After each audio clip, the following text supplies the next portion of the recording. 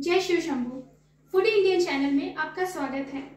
आज महाशिवरात्रि के पर्व पर मैं अंकिता आपके लिए एक न्यू रेसिपी लेकर आई हूँ। तो चलिए, आज बनाते हैं हम शकरकंदी खीर।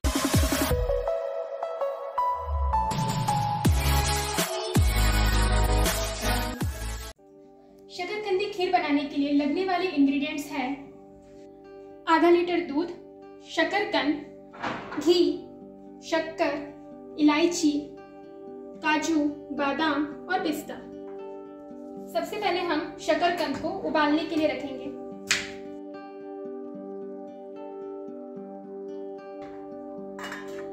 यहाँ पे मैं ऐसे प्लेट इसलिए रख रही हूँ क्योंकि पानी जो है, वो प्लेट में नहीं जाना चाहिए।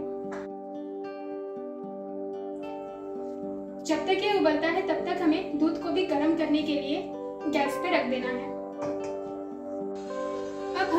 शक्कर और इलायची को साथ में मिक्सर में पीस लेंगे। शकरकंद भाप से पक चुके हैं, अब मैं इसे निकाल लूँगी। और इसका छिलका निकाल के हम इसे मैश कर लेंगे। खीर बनाने के लिए सारी चीज़ें रेडी है। अब हम खीर बनाएँगे।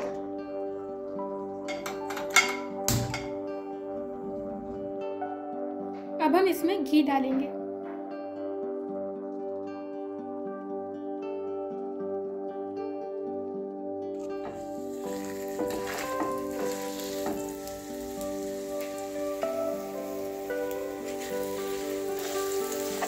लगभग पाँच मिनट तक भूजेंगे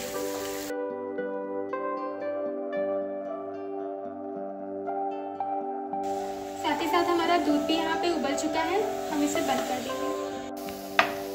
पाँच मिनट हो चुके हैं, अब हम इसमें पीसी हुई शक्कर डालेंगे, जिसे मैंने इलायची को भी कूट लिया है। मैं थोड़ा कम मीठा खाती हूँ, इसलिए मैंने यहाँ पे थोड़ा कम शक्कर यूज़ किया है। आप अपने स्वाद अनुसार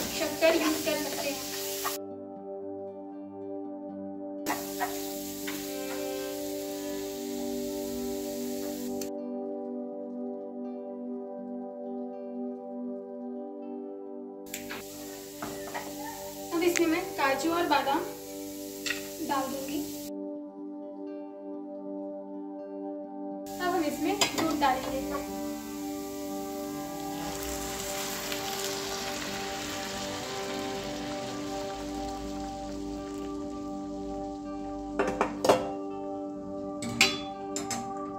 और इसे चलाएँगे।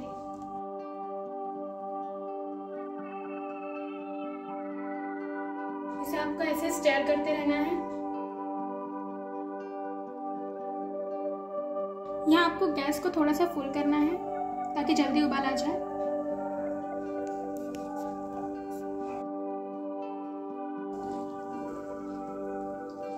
सो अब ये लगभग हो चुका है। हमारी रेसिपी रेडी टू सर्व है।